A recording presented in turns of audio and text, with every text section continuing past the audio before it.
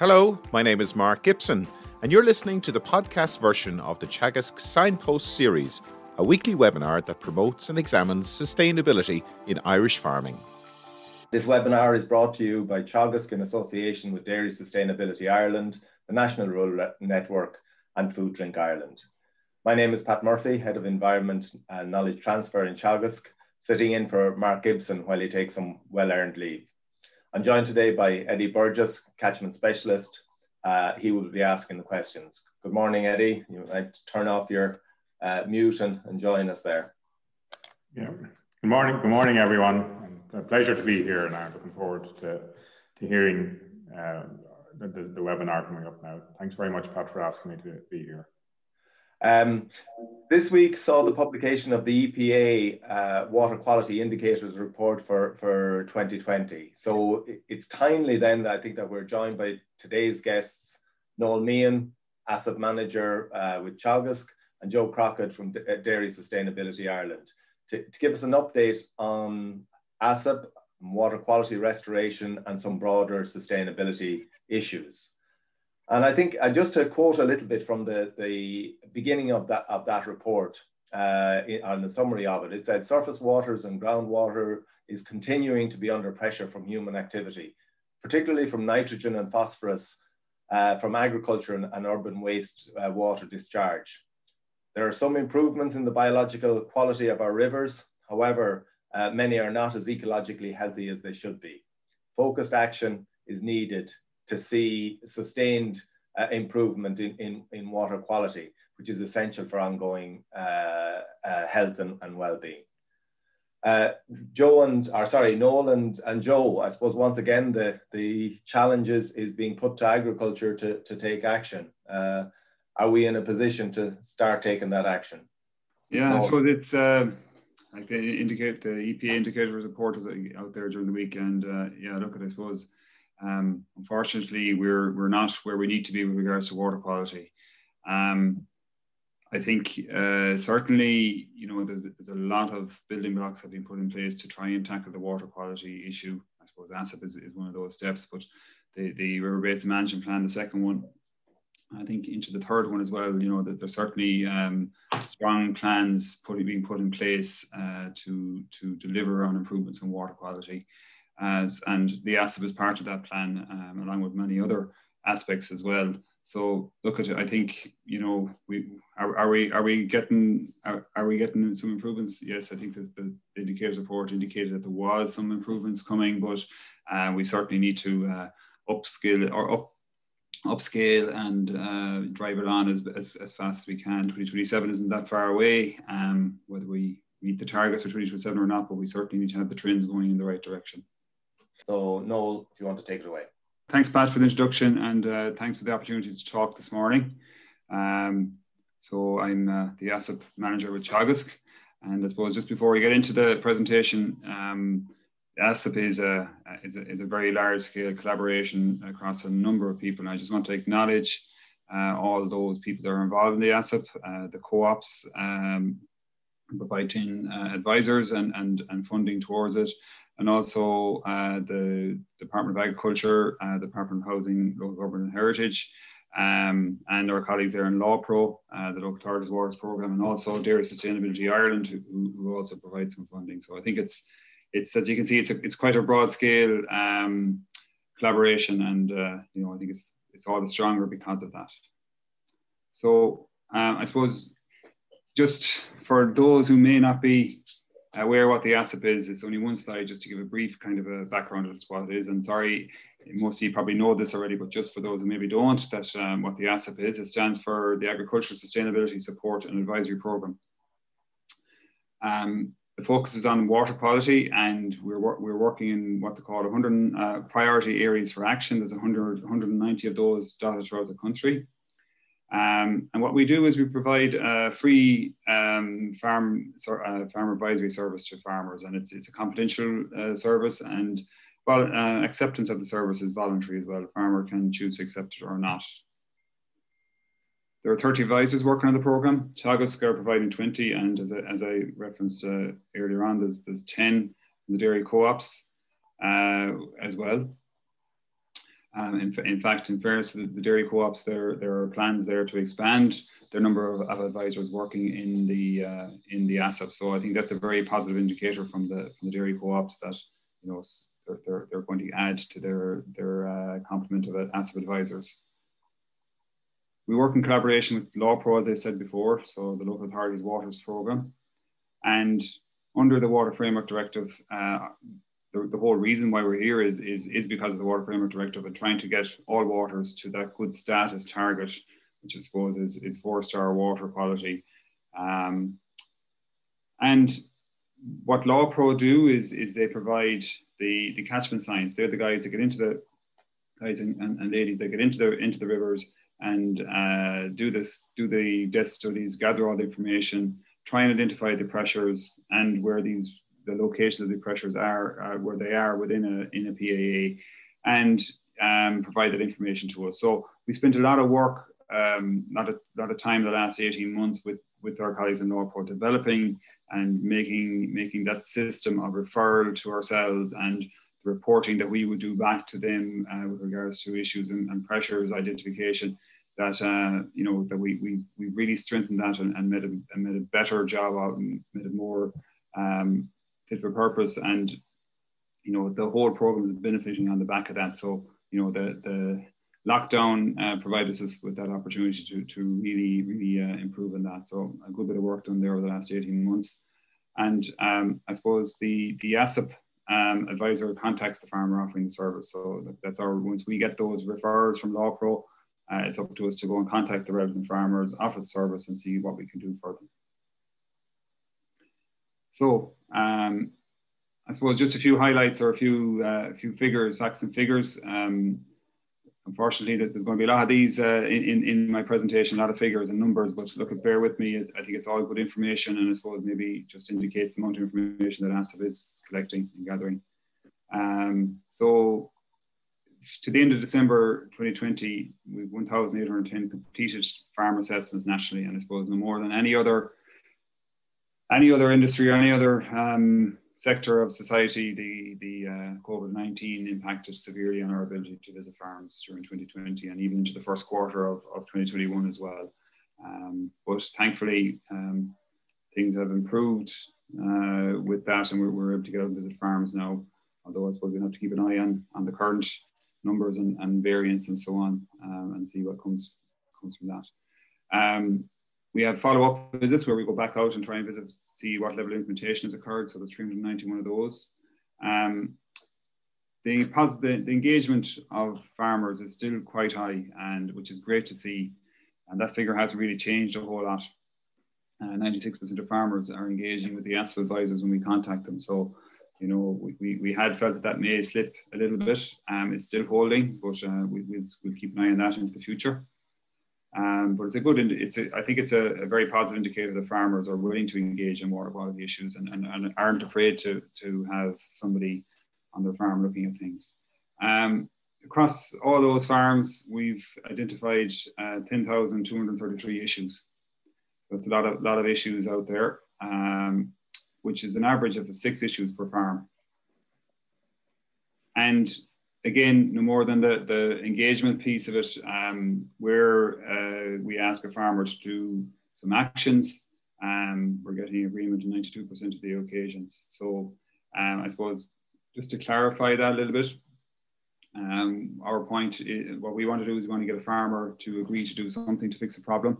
So, you know, we may suggest a, a mitigation action the farmer may not agree to that mitigation action, but may agree to the second mitigation, the second suggestion of mitigation action. Uh, so you know we we we are we get an agreement on the farmer to do something. So I suppose the the eight percent is there is, is where people the farmer is not agreeing to do anything at all. So that's just a clarification on that. Um, so just to break down the sector, so uh, of all the 1810 farms, 31% are dairy, 57 are involved in beef production, so be it sucklers or, or calf to beef or whatever uh, beef enterprises going on. And then we have sheep tillage and other enterprises are making up just 12% of the, of the farms assessed. And uh, again, this is this is maintained, uh, being consistent throughout the ASSAP so far is the uh, the where the pressures are or what the pressures are. So the diffuse phosphorus, nitrogen, and sedimentation, those diffuse issues are still by far and away the greatest uh, pressure there, coming around three quarters of all the pressures.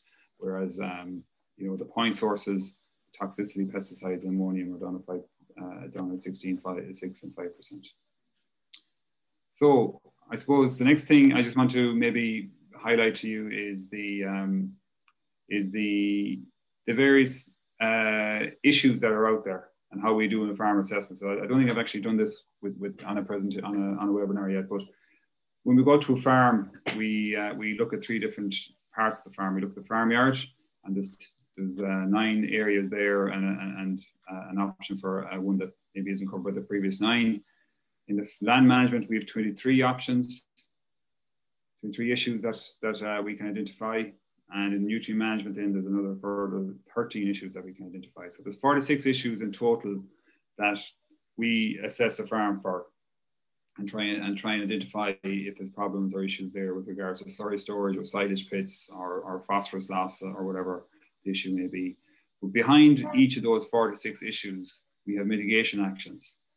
So for the slurry storage, we have we have five different mitigation actions there. So that's you know improved management and collection of uh, and storage of farm waste, additional storage for farm waste required, separation of clean grey soil water, dirty water, reduced or destock, reduced stock, or and informing and educating farmers. So there's five options, five mitigation actions that we can recommend to a farmer there. And likewise, we say for phosphorus loss through flow, we actually have 21 different options that we can ask a farmer and we can recommend to, to a farmer depending on what the issue is and, and what the scale of it is and, and, and based on the advisor's um, best uh, best opinion and best knowledge and, and the farmer's willingness to take on the mitigation action.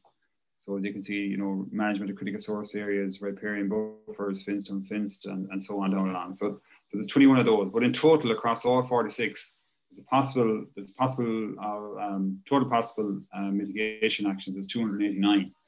So I suppose I, I'm just trying to give the viewer or the listener an idea of the scale of, of um, the assessment and the scale of the mitigation action that can be recommended to the farmer.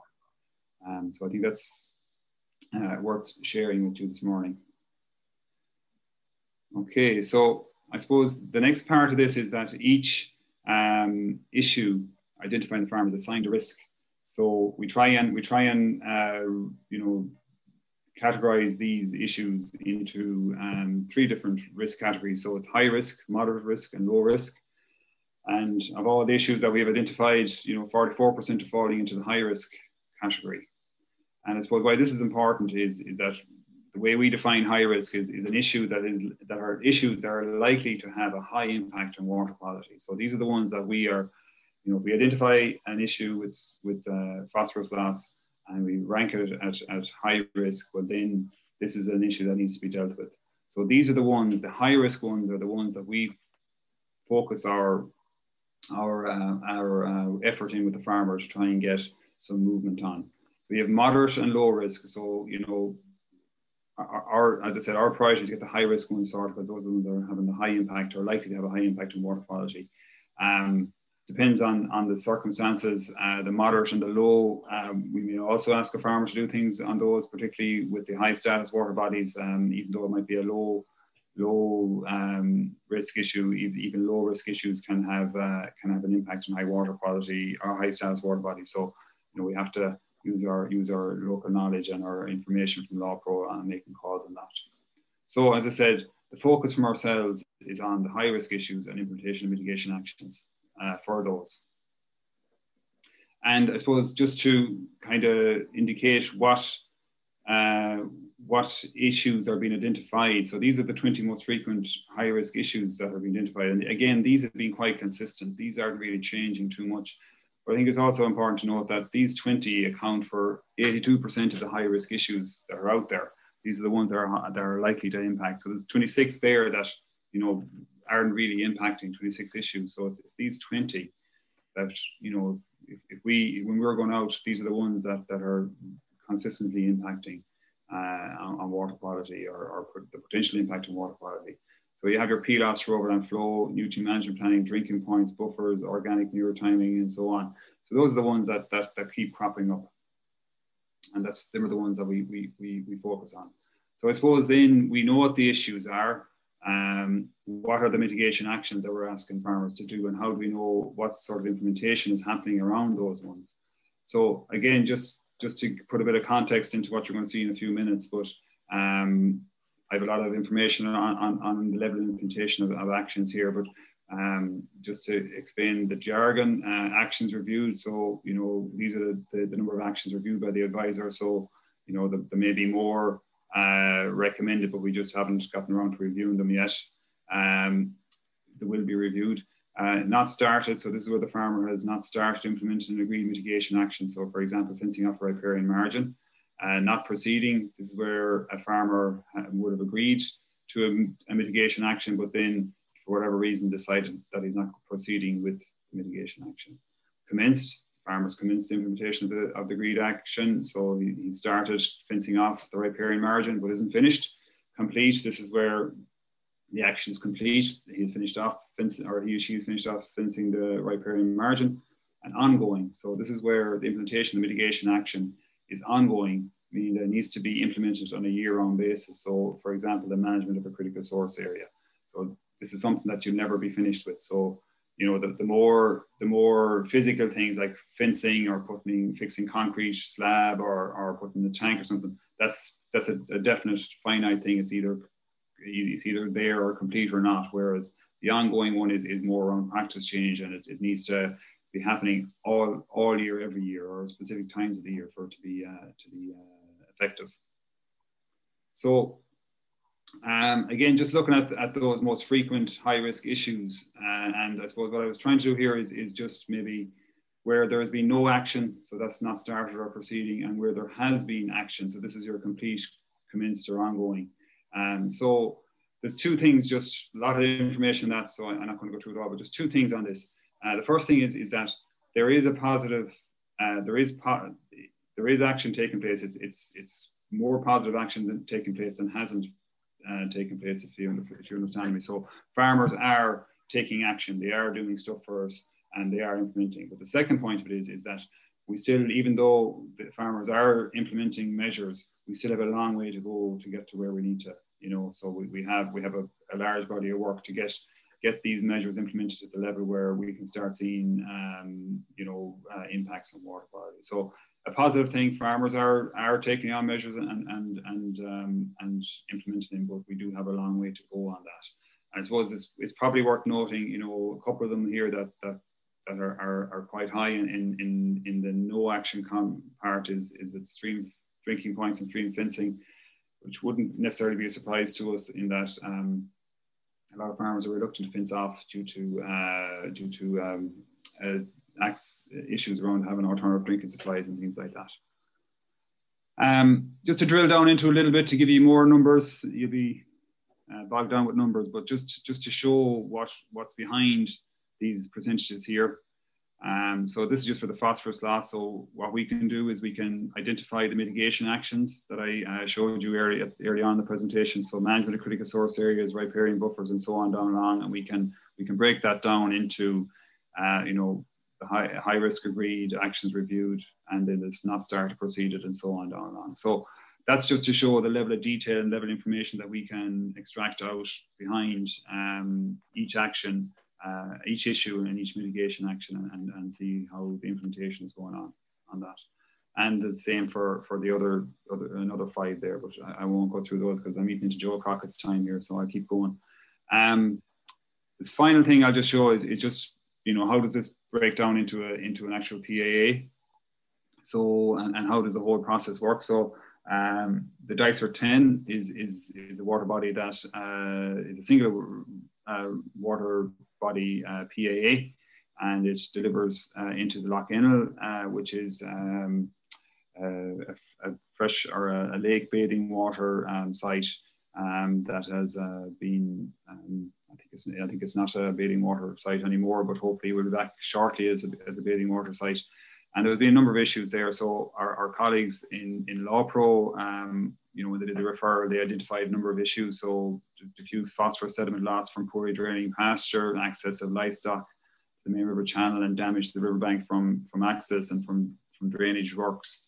uh, water troughs, non-observance of, of, buffer zones, and application of, of organic fertilizers at a, inappropriate times and locations. And I suppose um, there, there's a pathogen issue in, in the lake. That's why it, it's not a bathing water anymore. And that would indicate, you know, the, the summer spreading of slurry may be an issue there. And you know, typically you would think if you're putting slurry out in the summertime that that would be a, an ideal time, but um, obviously it's it's impacting particularly when you have those heavy summer downpours. So I think that's that's where that's coming from, and soil water runoff from yards. So just to give you an indi indicator of, of what what we've seen there. So the issues identified here: phosphorus loss, so buffers, drain cleaning, drinking points, weather and fertilizer management.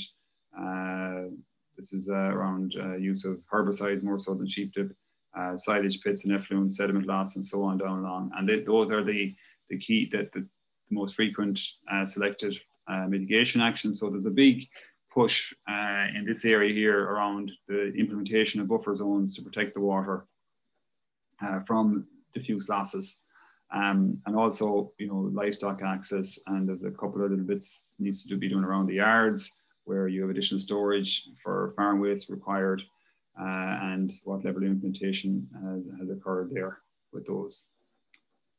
Okay, so just to summarize uh, on the on what you've seen there. So, you know, we had a COVID-19 has impacted in 2020 um, and a little bit of 2021, but we're, we're out and about now and, and getting very good engagement by the farmers. And, you know, I think it's it's very well worth noting like that the, the farmers are very much willing to to have us in and, and to talk to us and to try and do what they can to improve water quality. Um, the pressures and the issues are consistent. So since since we I started doing these reports, initially, uh, the first reports, they've remained they've maintained they've, remained consistent with the figures. There hasn't been any major fluctuations up and down, which I suppose is is uh, is a is a good thing. Um, mitigation actions need to be implemented and maintained to improve water quality. And uh, you know, if we don't have that, um, we won't see improvements that are, are necessary. Um, the implementation has been positive by the farmers, but we need greater levels required. You know, we need to make sure that we get the implementation even higher to see those positive impacts. And the final thing is, is that the, the ASSAP interim report, which is which is basically what, you, what I've been showing you there, is due to be published shortly. Um, and uh, watch out for that. So that's that's my lot, Pat, and apologies, I'm gone over well over. So Joe, I'm, I'm eating into your times. Apologies about that. Okay, Noel, thank you very much. Uh, uh, if you'd stop sharing, yeah, and Joe, you might start sharing. Uh, just Noel, uh, I suppose a, a, quick question. Going back to a slide you had there about the uh, uh, level of, of, of implementation of certain actions, there's a number of, of uh, areas where there was a, a, fairly high level of non-completion of action. Does that have implications for, uh, I suppose, policy or, or, or, changes that we need to make in, in uh, how we run the, the program or on the policy side? Yeah, like I suppose one highlighted there was was was the fencing upstream uh, of, of fences and so on. And look at that, that's something that I would have we would have spoken to the department on. Um, there's a couple of reasons why that's not happening, and, and it's it's because there's no you know there might be any alternative water supply. There's a, there's a cost to it. It could be on rented ground, um, you know, things like that. So there needs to be some if if we want to if there's a, an issue with livestock in, in, a particular stream and and um, it's it's impacting, well then we we need to put some sort of supports in there to, for a farmer to to uh, have an alternative drinking supply and, and, and uh, help the farmer with the cost of that. Um, there's other ones there, but with, with largely around, um, we'll say, tanks and, and, and concrete works around yards. So I suppose there are grants and there are facilities there. And, and I think what that's indicating is that it's actually the, the, the whole process of getting planning permission and getting uh, that approved and then getting TAMS approval and then getting the work work done. So it's just the amount of time it takes to do these things is, is probably what's impacting there and those other ones. But um, yeah, like there, there are some some policy issues there. We have been flagging them to the department and uh, look at, you know, okay. No, they will do. They are indicating they do what they can to help. You know. Okay, Joe. Uh, Joe Crockett from Dairy Sustainability Ireland. Uh, if you're ready, go ahead there. Uh, can you see my screen, guys? Is everything um, okay? Yeah. yeah. Okay, great. Thank you very much.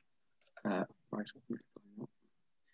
Okay, so this is what I want to talk about to introduce you very uh, tentatively to Dairy Sustainability Ireland, a small little bit of economics, to mention the ASSAP review, and then to go on to the broader sustainability issues because ASSAP sits within the strategic context, and then to set out some ideas and possibilities, and just to confirm that what I'm setting out this morning are just some personal views and opinions, nothing more, and then to set out some conclusions.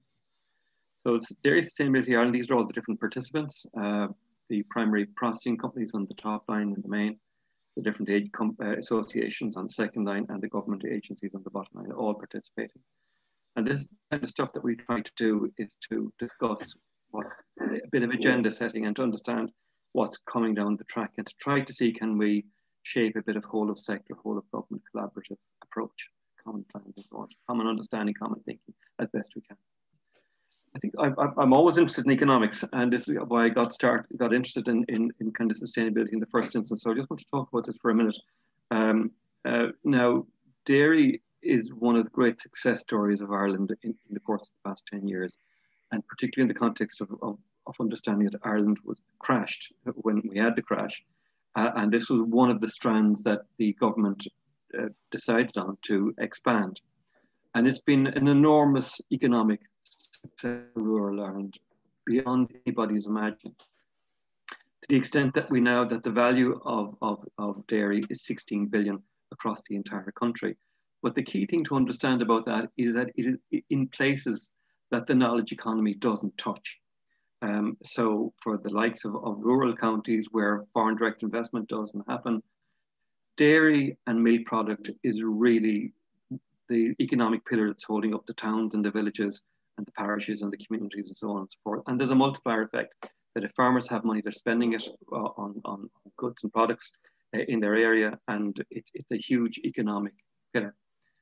The market piece of this, the international market piece, is also very, very important. Uh, and again, the comparator with Irish drinks, that 6.5 billion for, for, for dairy as against 1.4 billion for the Irish drinks industry. Uh, so the question of kind of the market success that Irish dairy has become due to enormously good efforts by kind of Ornua and Bord Bia over long years to, to develop these markets and to make it happen. Um, but there's a, a, a, kind of a, the, the reverse of that is that we can't afford ever to lose those international markets. And we can't ever afford that the economic value that dairy brings, that it is lost. And business is a volatile thing. It's sort of what you, whether you buy a pound of butter or a particular dairy infant formula piece. It's a matter of a moment as to whether you pick this one or that one. So we have to protect our market.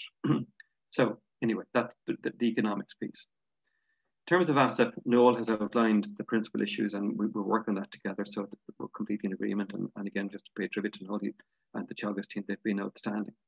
Um, so in terms of ASSAP itself, it has uh, become more firmly established and accepted. And in particular, the principle of collaborative working with farmers and among state agencies and processing co-ops to achieve sustainability outcomes.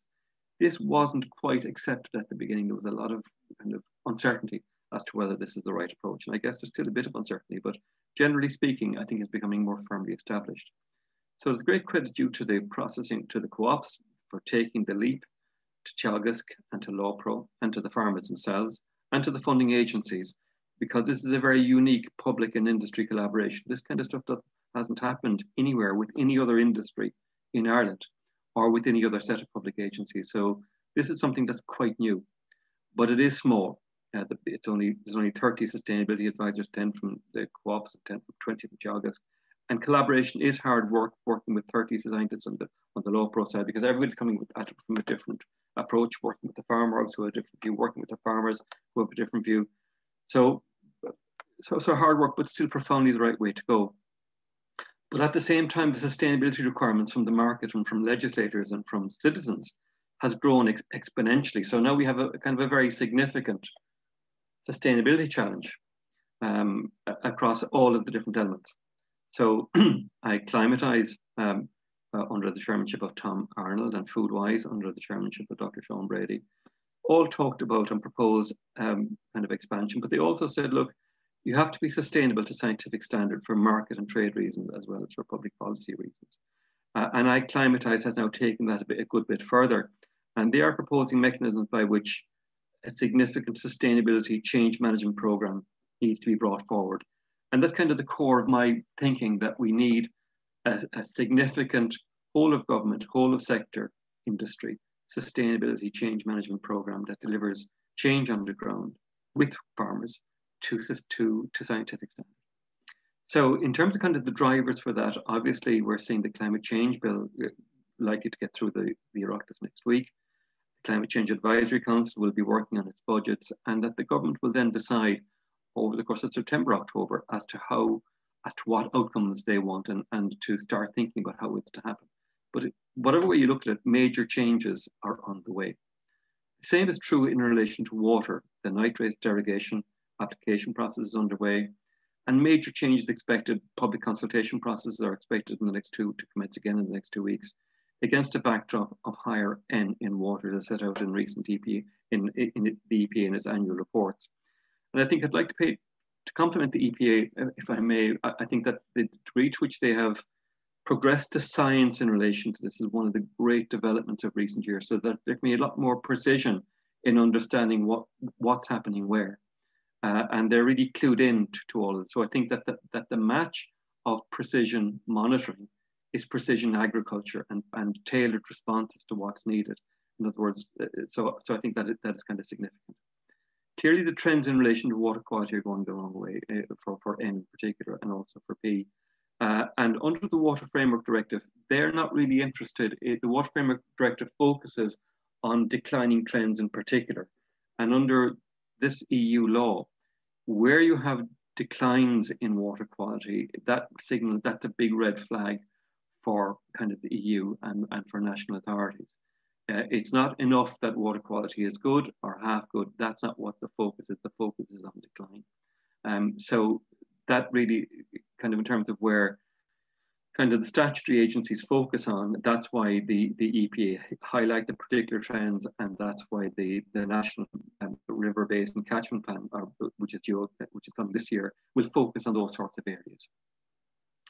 Uh, ammonia, similarly, major challenges presenting. We know that agriculture is the main component of the national thresholds being breached, but the technologies around this is helping that quite, quite a degree biodiversity continues to be under threat. In legislative terms, it is declared a, crisis. Uh, and then farm incomes, uh, uh, and again, sort of again, um, it's great that prices for beef have increased this year for farmers against a backdrop of very poor kind of market and incomes to, to beef farmers. And milk prices are good again for, for farmers this year, but farm income and farming is a very high risk business because of you know all the different volatilities that, that so it, it, it's not a it's not easy to be a farmer, I have to say, uh, uh, and there's so much risk in terms of how much you will make, uh, just extraordinary. So then in terms of understanding, how can we adopt a problem-solving approach to climate and ammonia, biodiversity, and to water? And I think one of the key understandings that one has to have is that you, if you start to fix one, you start to fix them all. So for example, if you start to, for example, um, reduce the spread of, of chemical fertilizer, chemical N. That helps the, the climate, it helps biodiversity, and it helps ammonia. The same way, if you put in, say, native trees or a belt of native trees between you and a between a farm and a river, uh, it helps biodiversity, it helps water quality, it, it helps sequestration. So, therefore, every time you do something for water, you actually also, generally speaking, help climate. And likewise, if you do something for climate, you help water. So therefore, I think understanding the co-benefits that arise kind of suggests to me that we need, in the first instance, to get best practice out there to a greater degree, a lot more guidance, a lot more knowledge transfer around what are the right things to do around these four um, environmental requirements. So that suggests to me that ultimately what we need to move to is an integrated farm sustainability plan that sets out a menu of best practice for farmers to select in accordance with where they are in their expenditure profile or where they are in their effort or in terms of where they are in their life cycle. Um, and then I think sort of in relation to ASSAP, ASSAP certainly needs to be expanded, but it is only a pilot program. You can't make it a huge national program because it just couldn't afford, the state couldn't afford it. But I think that really what it needs is that sustainability support and advice has to be mainstreamed and it becomes a core part of what Teagasc does and the Department of Agriculture, private advisory and the co-ops. It's intrinsic uh, and not separate from the production systems. I think that's a major strategic direction that we need to move on early. Obviously, sort of carbon farming and paying for sustainability, I think, it ha has been accepted uh, as a principle by the EU and by national authorities. So the question of paying farmers for their sustainability improvements, I think, is accepted. So I think that is to be now brought forward in the eco schemes and hopefully as well in relation to sustainability to drive the kind of the fundamental changes that are needed. And I think as well that in relation to the markets internationally or in relation to regulators or in relation to citizens, that people need to be confident that the right things are happening and that there is trust between the farm sector and between um, all these other elements. So the question of kind of having some sort of a system of independent auditing so that farmers know that, that the right things are happening, that they're having the right outcomes, but that there is trust and that there is no need for, in my view, for kind of hard conflict between the agri sector or urban Ireland or between policy sectors or between ENGOs, because it isn't everybody's interest, both from a market and from an income and from a from from a legislative and a public policy perspective, that we get this stuff right. So building trust and building consensus and avoiding hard outright conflict for me, I think is something that's fundamentally needed. So, excuse me, so in looking at the science of things, enormous scientific developments are being brought forward at the present time by Carbery in West Cork, by Teagasc with the signpost farms, by Devenish. And I think that really what we're looking at is that every farm taking best practice from these different um, models of, of, of, cutting edge developments and every farm going down that direction and every farm a signpost farm in the medium term. I think that's what we're looking at. And I think Carbery and UCD, in terms of winning a 2 million euro prize from Science Foundation Ireland, was an enormous confidence builder for the sector around to prove that this stuff is doable. And Dairygold and Glanbia have brought forward our uh, major sustainability change programs. Glanbia's one was launched this week, focused on um, carbon reduction. And it, there's a lot more to follow. Uh, so it's a great credit due to Dairygold and Glanbia for those significant steps. So therefore, in terms of looking at the ask uh, from the sector, from Agri, when you look at kind of the Teagasc MAC curve, it has three elements. One is climate mitigation on farm. And that is kind of the part that everybody looks at because we're accountable to the EPA budgeting strategy for that. Uh, so that's where the Carbery uh, and the signpost and the Devenish stuff comes in. But that's, in my view, too narrow a focus. We also need to look at the other things that Agri can deliver. So it can do energy in relation to microgeneration with solar. It can do anaerobic digestion. Um, and there's lots of companies out there now doing significant stuff in that area. For example, Dairymaster is doing incredible stuff down in Kerry. The solar energy companies are doing great stuff, and there's lots of, uh, and indeed uh, the ESB and, and uh, Electric Ireland are doing great stuff there, as well as an awful lot of solar companies, local power, and so on and so forth.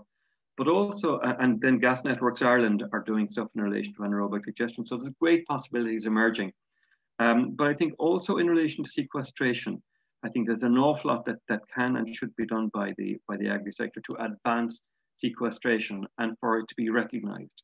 So these are all the different asks that are possible. So agriculture can become a major deliverer of agri-climate betterment, not just for on-farm mitigation, but also for energy and for sequestration.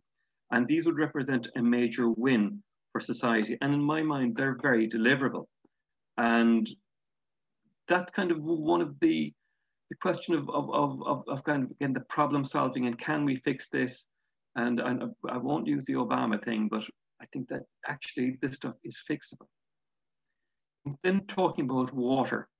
Uh, now my brief is, is comms and education and, and kind of behavioral change. And again, the question is how do we solve a problem like nitrogen or excess nitrate?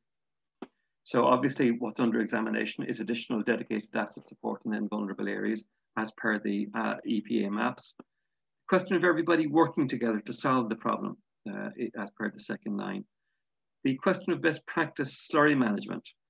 Uh, Teagasc, uh, uh, and kind of the, the idea now is that best practice really is that to get slurry out by midsummer if you're to max productivity for and to max sustainability performance. And I think that really is where every farmer should position to get your slurry out by the midsummer. Uh, uh, and then if kind of any soil water gets into the tanks by between now and October, take that soil water out best practice and then be ready for what's coming in, in from October. I think also it is appropriate to look at the question of the assessment of slurry storage and to see is the slurry storage capacity right, and then to address the issues that, that present from that if there are any, uh, and then in particular to adhere to the close season. And I, I, know that there's lots of questions as to whether the close season are right or wrong, but Pat Murphy uh, or the Teagasc people will tell you that the science completely supports complete and full adherence to the close season. I think nutrient management planning, the implementation of that is critical. Uh, and then the question of protected urea, all fertilizer sales linked to hard number, the use of clover, multi-species swards, the use of less, all these things are, will, will be major elements.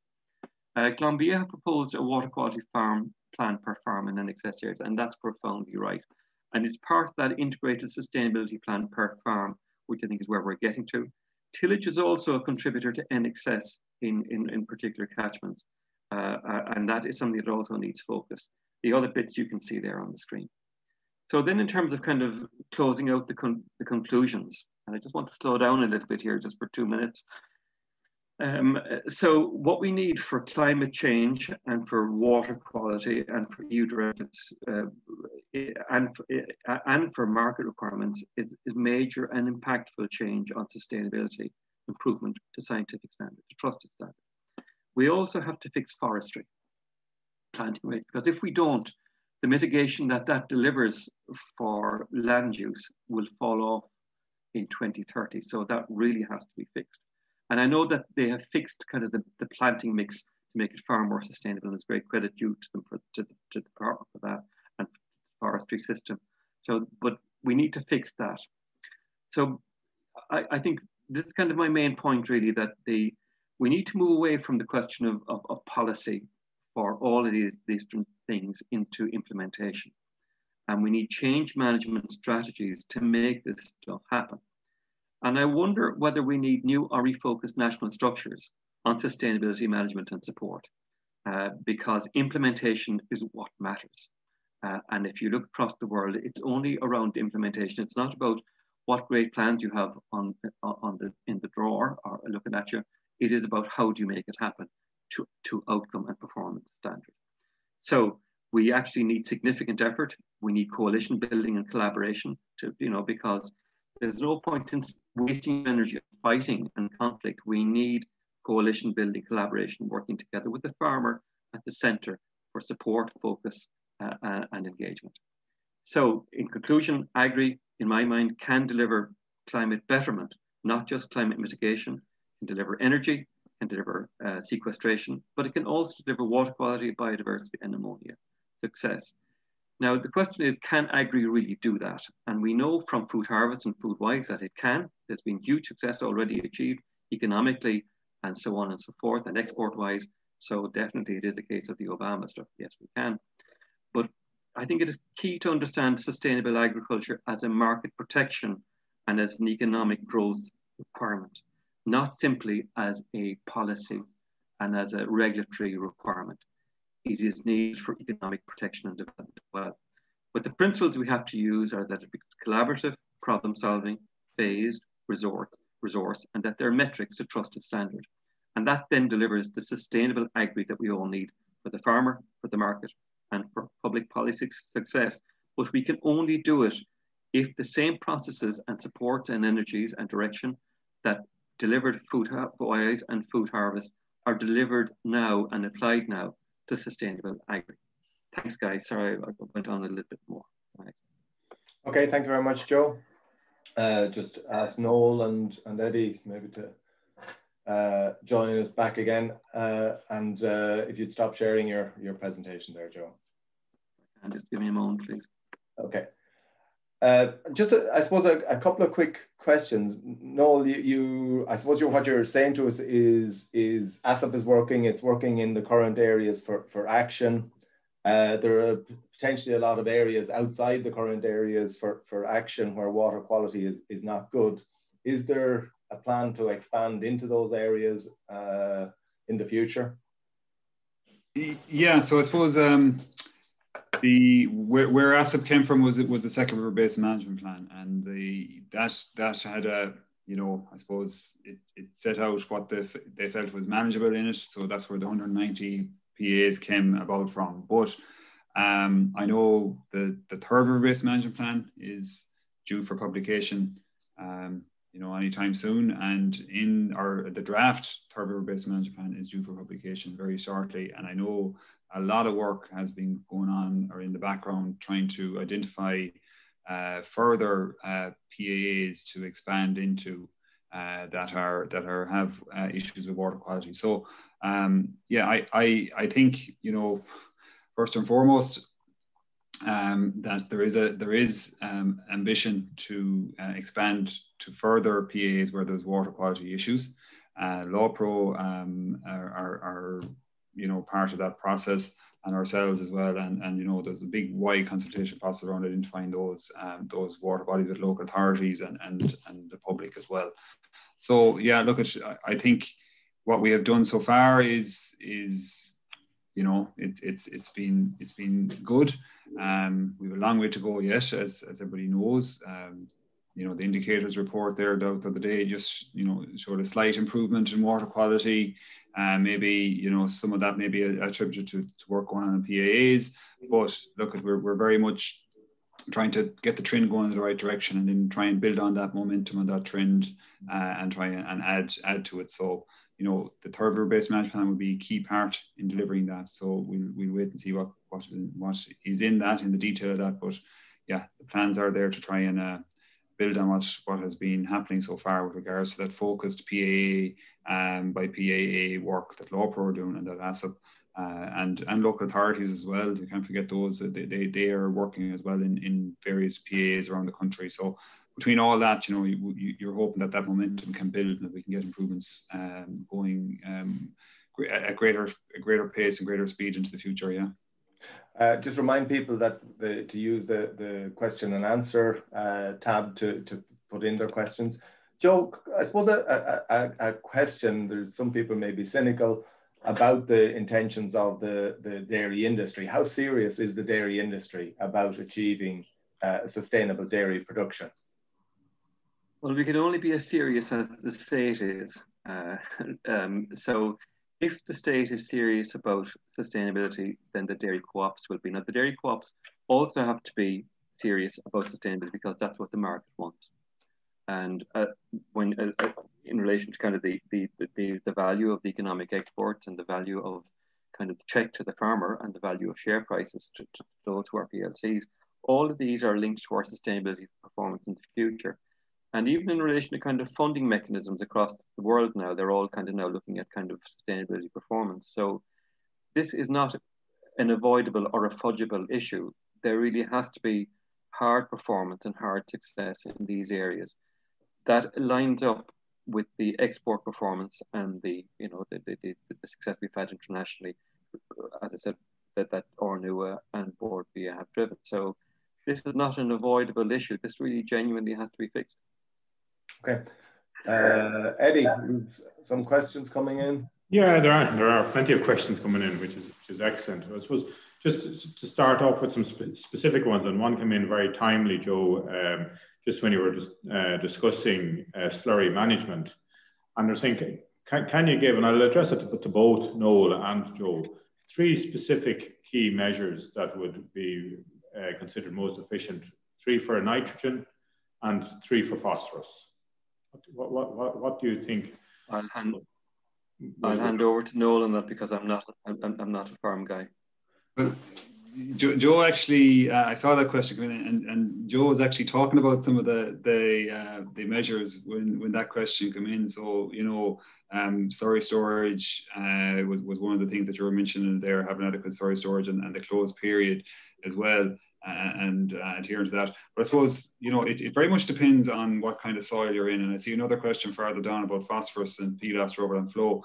Um, so, you know, if you if you have, you know, a, a, nitrogen issue, well, then you're in the more free draining soil. So then you have a different set of, of actions that you need to focus on to, to uh, deal with those, um, as opposed to a phosphorus uh, issue which would be a heavier soils issue, and then you'd have a different set of actions that that may be more more important there. Um, so just from the nitrogen, you know, I, I, think certainly think the slurry management and, and, the usage usage of slurry and and that um, winter period, uh, early spring, late autumn period, those are crucial periods of the year where um, where we need to be very careful on how we manage our slurry or manage our nutrient inputs our nitrogen inputs, inputs or chemical inputs. So I think, you know, we, we will need to get much smarter and much more reactive to the weather conditions. So, you know, soil temperature, uh, soil moisture deficit, what the growth rate is on your farm, those kind of things are going to have to play a part in whether you decide whether you should go with nitrogen um, or sorry in, in, in the early part of the year, or should you delay it a week or 10 days, whatever it is. And that, that will vary from year to year and will vary from parts of the country and it will vary, vary from farm to farm. Um, I think then, you know, the autumn period of the year as well, same same kind of thinking going on there. What's the growth rate? What's the soil moisture deficit? What's what's the, what's the have we've had a very dry summer? Um, you know, is there going to be a lot of natural mineralization of nitrogen there? If there is, do we do we dial it back on, on the chemical in? And the other thing then is is you know we're we're it's a lovely day here in Galway. You know, it's been even for Galway, it's been it's been sort of semi. Uh, we've had a very dry spell, not an awful lot of rain. Um, other parts of the country, they may be in drought. Uh, depending on the soil moisture deficit there, you should be dialing back on, on, on your nitrogen as well. If the growth rates are dropping, you know, it's, it's, it's, it's important that we're reactive to that. So those are the kind of things that I think um, we need to look at it, as well as, as, as trying to replace chemical fertilizer, with the likes of, of, of clover and the likes of multi-species swards and things like that. So those kind of combination and the use of less, those kind of combination of things will, will help in the nitrogen one. The phosphorus one then is, is, is a heavy soils issue where you have uh, heavy rainfall and, and, and the soil gets saturated and water flows over land. So then you're, you're looking at a different kind of set of parameters there. You're looking at trying to break that pathway and, and prevent uh, nutrient from leaving the field and getting into the stream. So you're looking at trying to identify your critical source areas and the EPA have brought out brilliant maps there recently, um, which identify kind of you know critical flow path areas in your in your land that, that where water uh, can can move and and, and kind of flow over land. So those those are the areas that you'll be looking at, maybe trying to you know slow down that flow or, or intercept the, the sediment uh, or prevent the nutrient from getting in. So, you know, and again, nutrient management and, and how you manage your land then is very important as well because, you know, if you if you uh, spread slurry in, in a field that, that can get very wet and, and flood, you know that that's only going to end up in one place. But I think most farmers, in fairness, uh, um, know their wet fields and, and try and apply slurry in, in the drier fields because you know uh, slurry tankers are heavy and they don't want damaging their land. So those are the kind of things that you'd be looking at, um, Eddie. And and no, no, thanks very much. So I think there's a lot of scope for for uh, management of organic manures tying in with good nutrient management planning and, and they kind of overlap and tie in together for both nitrogen and phosphorus. How, yeah. So also, I, I know with the ASSAP program, you get direction, you're working in priority areas for action, which have been identified by uh, government agencies, LAWPRO and the EPA and, and, and so on. And you get, you get uh, a desk assessment uh, be, before the ASSAP advisor goes out. But um, I, I, find for behavioural change, it's very good to give feedback where improvements have happened and, and where And there is a question there, is there any measured specific improvement in problem catchments. And I'm wondering, do you get feedback from LAWPRO uh, where there has been an improvement? And is that feedback given back to the farmers? And can you give an example of any such improvements? yeah, yeah. Like I suppose it's it's still very early uh, to um, see improvements. Now, I know in the in the indicator report, you know, they're they're, they're saying that you know that that the areas where PA, PA areas where there's been a, a um, has been a greater level of interaction that you know that the level of improvement is is slightly but greater there than it would be in in the in the non-PA areas. So obviously there's, there's something going on there that's impacting and improving. But I suppose what we're trying to do from a, from a behavioural change point of view, or contacting farmers or informing farmers, is that you know we we we have a kind of a plan where we you know at the very start of our work in a PA we we reach out to all the farmers to come along to a meeting. Fortunately, a lot of those have been over Zoom for the last 12 months, but hopefully we'll get to have them in person again. Um, and uh, we set out a stall, explain what we're about. And midway through, then we we also uh, give some feedback as to what the issues are and what the pressures are and, and, and what, what mitigation actions are, are recommended on that. So to reinforce that message to, to them that this is what we're finding. And then, you know, when we, you know, hopefully towards the end of the year, we'll be finishing up in a couple of PAs and we will, we will obviously invite all the farmers back to a further meeting to give an indication as to uh, what has happened in with regards to water quality uh, so LAWPRO would, would be able to provide some information around that. So I think it's very important that that you know uh, farmers are kept in the loop as to what's going on. Like there's nothing worse than coming in all guns blazing and, and then disappear out of sight. Like I mean that that's not good enough, and that's not what we won't be doing. That we want to we want to keep the farmers in the loop, and um, you know hopefully by the time we're finishing leaving, that water quality will have improved, and that they know what is impacting and what they need to do to keep it improving and uh, you know hopefully that will lead to fundamental practice change by farmers in that PAA uh, and that you know we, will be able to maintain it as opposed to having to go in again in two or three years time and, and restore it again you know hopefully we'll be able to, to maintain it at, at that level you, you mentioned Noel, hopefully, but but there will be fairly exact uh, um, measurement of uh, exactly what's happening uh, in the, the catchments that you're you're working in. So it's not as if we're we're uh, or there isn't going to be a, a fairly high level of measurement. The question yeah. here um, in relation to the engagement of, of other advisors uh, in water quality uh, uh, and working with the ASSAP advisors. Yeah, I, I, think Joe actually kind of touched on it again in, in Joe's piece, uh, where he, he, spoke about um, it becoming main, you know, water quality issues and that becoming more mainstream, you know, uh, and uh, you know, I, I, think that that's that's a very laudable uh, suggestion and idea. And you know, if, if an advisor is going out talking about um, grass measuring or breeding or, or dosing or whatever it is, that they also, you know, always talk about an environment issue, be water quality or biodiversity or greenhouse gases. So, you know, it's it's it's it's part of the conversation uh, and it's, it's it's it's the norm.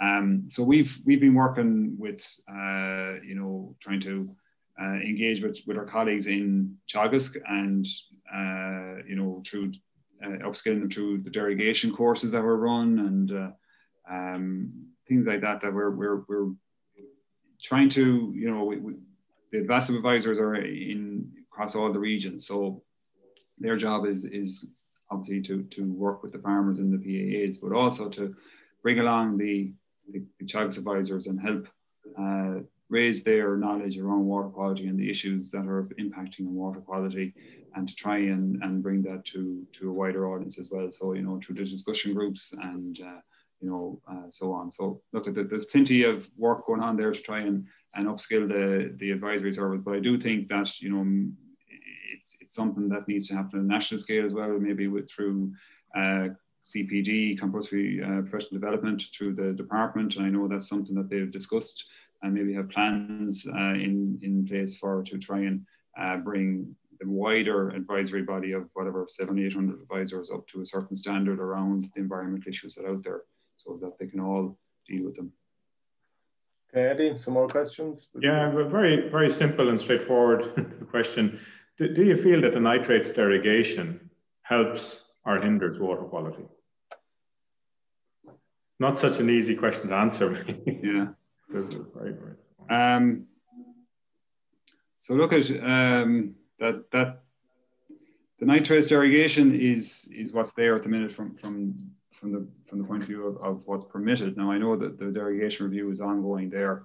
Um, I think that you know water quality, um, nitrogen levels have have increased in in the in the rivers. So you have indications there that there's excess nutrients getting out.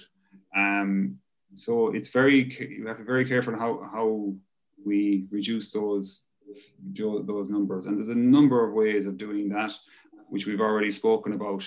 Um, I think you know the discussions between the department and, and, the, and the European Union are going on with the derogation, and I think we all expect that there'll be changes there as well to, to the nitrates derogation. Um, it won't be what we have currently. You know, I think Jack Nolan has well has the department have flagged that there's going to be uh, changes there. So look at, I think those changes will, will come in and will you know they're designed to to improve water quality so we'll have to watch this space and see uh, are they going to deliver on that?